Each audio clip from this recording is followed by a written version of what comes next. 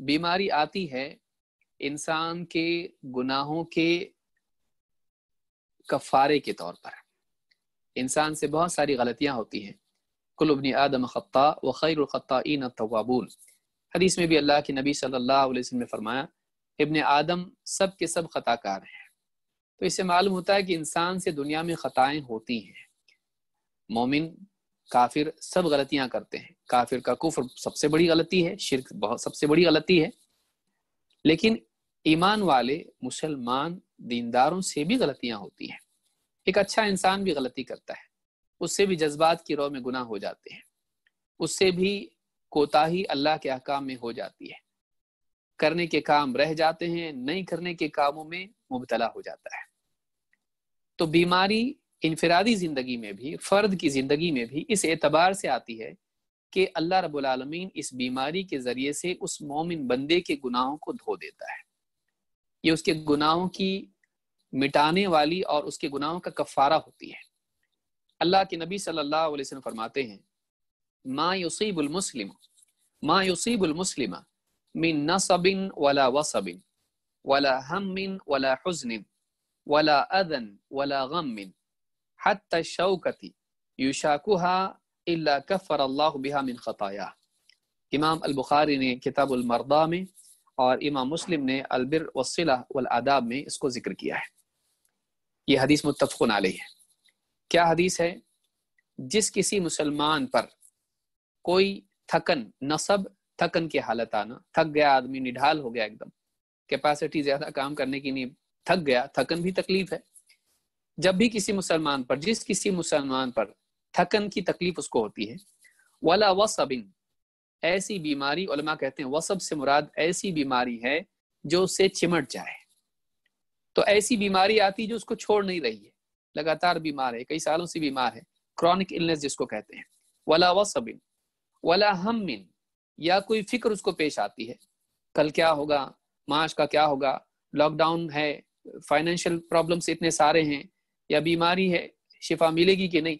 इंसान के दिल में मुस्तबल के हालात को सोच के, अंजाम को सोच के उसके दिल में फ़िक्र पैदा होती है।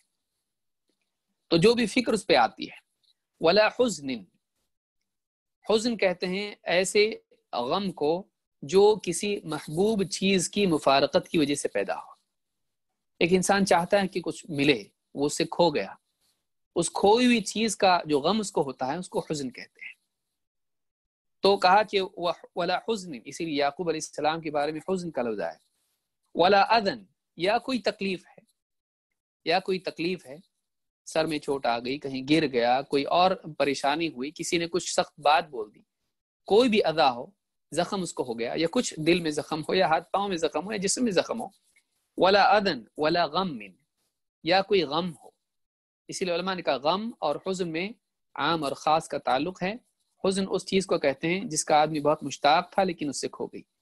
और उसकी तलब उसको है। उसके ना होने की वजह से उसको तकलीफ़ हो रही और गम कुछ भी हो सकता है। कोई आदमी, कोई ऐसी बात है, जो उसको दिल दुखाने वाली पेश आई, किसी ने सख्त बात बोल दी, दिल में गम आ गया। तो इस तरह की सारी चीज़ें जो गम वाली होती हैं तो इसको गम कहते हैं। आपने फरमाया हत तशौकती शाकुहा यहाँ तक के कोई कांटा भी उसको चुपता है। पाँव में कांटा चुप गया, ये भी तकलीफ़। इल्ला कफर अल्लाह बिहा मिन खताया, अल्लाह ताला इस तकलीफ़ के बदले उसकी खताओं को मिटा देता है। इस तकलीफ़ की, को उसके लिए उसके गुनाहों का कफारा बना देता है। उसके गुनाहों की सजा के तौर पर दुनिया ही में उसके लिए बदल बना देता है, आखिरत की सजा का बदल बना देता है। तो गुनाहों के मिटाने के लिए भी अल्लाह ताला दुनिया में बीमारी डालता है, जैसा कि हदीस में आया, वला वसबिन। वला वसबिन का लफ्ज यहाँ पर हदीस में हमको मिलता है, जिससे मालूम था कि बीमारी, खास तौर से ऐसी बीमारी जो मुस्तकिल इंसान की ज़िंदगी का हिस्सा बन जाए तो ऐसी बीमारियाँ भी और आम बीमारियाँ भी इंसान के लिए गुनाहों का कफारा होती है। ये बुखारी और मुस्लिम की हदीस है। इसी तरह से अल्लाह के नबी सल्लल्लाहु अलैहि वसल्लम ने फरमाया, अलहुम्मा कीर मिन जहन्नम वही नसीब नसीबुल मुमिन मिन नार। आपने फरमाया बुखार हम्मा बुखार को कहते हैं। खीर उमिन जहन्नम जहन्नम की भट्टी है। और फरमाया, वही नसीबुल मोमिन मिन ये मोमिन के लिए जहन्नम की आग का हिस्सा है जो दुनिया ही में उसको दिया जाता है। यानी आखिरत में जहन्नम में अल्लाह ताला अजाब दे, उसकी बजाय वो जो तकलीफ़ है, वो जो, यानी उसको आग है, वो जो उसके लिए अजाब है, अल्लाह रब्बुल आलमीन मोमिन के साथ खैर का मामला करते हुए आखिरत में जहन्नम का अजाब देने की बजाय उसको दुनिया में ही बुखार दे के उसको वो अजाब और वो तकलीफ़ दुनिया ही में दे के पाक कर देता है। जैसे भट्टी, लोहा, सोना, चांदी अगर आप भट्टी में डालें तो उस भट्टी की आग की तपिश और गर्मी और उसकी सख्ती की वजह से वो आग, यानी वो सोना और वो चांदी और वो लोहा और वो जो जो भी धात आप उसमें डालते हैं, वो पाक और खालिश होकर बाहर निकलती है। बिलाशुबा उसमें गर्मी की शिद्दत है, मोमिन को तकलीफ़ होती है, लेकिन ये तकलीफ़ उसको गुनाहों से पाक कर देती है और इन गुनाहों की वजह से वो जहन्नम में जाने वाला था। वहाँ पाक हो कि जन्नत में जाता, लेकिन वो अजाब बहुत बड़ा है, वो बहुत सख्त है, बहुत बड़ी मुसीबत है। उससे छोटी मुसीबत अल्लाह रब्बुल आलमीन दुनिया में देता है। उसको बुखार में मुबतला करता है और यहीं पर अल्लाह ताला उसको पाक कर देता है। इस हदीस को इमाम तबरानी ने अल कबीर में रिवायत किया है और सही अलजाम सगीर में शेख अलबानी ने इस हदीस को सही करार दिया है। आयशा रदी अल्लाह फरमाती हैं अन रजुलन तला हादिहिल आया मैयामल सो अन युजजा ये सूरह अन्निसा की आयत नंबर 123 है। इसकी तफसीर में आप ये देख सकते हैं। आयशा रदी अल्लाह फरमाती हैं कि एक शख्स ने ये आयत पढ़ी कि जो कोई बुराई करेगा, उसको बदला मिलेगा। जो कोई बुराई करेगा, उसको ज़रूर उसका बदला मिलेगा। फ़काला, इन्ना लनुजा बिकुल्लिमा अमिलना हलकना इदन। कहा कि अल्लाह के रसूल, अगर हर हर हमारी गलती पर, हमारे हर गुनाह पर हमको अल्लाह रब्बुल आलमीन सजा देने लगे, तब तो हम तो हलाक हो जाएँगे। हर बुराई का बदला अगर हमको मिलने लगे, तब तो हम हलाक हो गए। हमारी हलाकत और बर्बादी में कोई तरद और कोई शक नहीं रहा। फ़बल गदाली का रसूल अल्लाह सल्लल्लाहु ये बात जब अल्लाह के रसूल सल्लल्लाहु अलैहि वसल्लम को पहुँची, फ़काल, नाम, युजजा बिही फि दुनिया फ़ी जसदिही मिम्मा युदी आपने फरमाया, बिल्कुल, जो भी आदमी बुराई करता है, उस बुराई का बदला उसको मिलेगा। लेकिन वो साहब समझ रहे हैं कि आखिरत में जहन्नम में बदला मिलेगा। जहन्नम की सजा उसके बदले मिलेगी। लेकिन नबी करीम सल्लल्लाहु अलैहि वसल्लम ने आयत का सही मतलब बताया और आपने फरमाया कि हाँ बदला तो मिलेगा, लेकिन दुनिया में मिलेगा। नाम युजा भी फिर दुनिया। दुनिया में उसको बदला मिलेगा। लेकिन वो बदला कैसे मिलेगा? आपने फरमाया मिम मुसीबत फ़ी जसदी ही मिम मायूदी उसके बदन में कोई मुसीबत अल्लाह उस पर डाल देगा, जिससे उसको तकलीफ़ होती है। वो वो मुसीबत उसके लिए तकलीफ़ पहुँचाने वाली होगी। जैसे आपने सुना, कांटा चुभना, या इसी तरह से एक इंसान को चोट पहुँचना, या फिर बीमारी उसका, उसके ऊपर आना। तो जो भी बीमारी इंसान पर आती है, जो भी बदन में उसके जिस्म में तकलीफ़ आती है, अल्लाह रब्बुल आलमीन इस तकलीफ़ को उसके गुनाहों की दुनियावी सजा बना देता है। ये बंदे के लिए मुसीबत अगरचे दुनियावी तबार से होती है, लेकिन आखिरत के अतबार से एक इंसान के लिए, एक मोमिन के लिए ये रहमत होती है। इस हदीस को इमाम अहमद और इब्न हिब्बान ने रिवायत किया है और सही तरगीब में शेख अलबानी ने इसको सही कहा है। यह हदीस सही मुस्लिम में हज़रत अबू हुरैरा रदी अल्लाह तआला से भी बहुत ही मुख्तसरन रिवायत हुई है। सही मुस्लिम में भी हज़रत अबू हुरैरा से हदीस आई है, लेकिन जो हदीस मैंने बयान की है, वो हज़रत आयशा रदी अल्लाह तआला की जो इमाम अहमद और इमाम इब्न हिब्बान ने रिवायत की है। आइए एक और हदीस देखते हैं जो इसी माना में है। अबू बकर सिद्दीक रदी अल्लाह तआला फरमाते हैं कि उनसे रिवायत फरमाते हैं, या रसूल अल्लाह कई फसलाह आया? कहा कि अल्लाह के रसूल इस आयत के बाद कैसे हमारे लिए भलाई का मामला हो सकता है? कैसे हमारे लिए सलाह हो सकती है? लई सभी अमानी यकुम वला अमानी ये अहल किताब। न तुम्हारी तमन्नाओं पर बात मौकूफ है और न अहल किताब की तमन्नाओं पर कुछ टिका हुआ है मामला। मैं अमल सो अन युजबी कहा कि तुम तुम चाहोगे जन्नत मिल जाएगी। कोई कुछ बुरा नहीं होगा हमारा।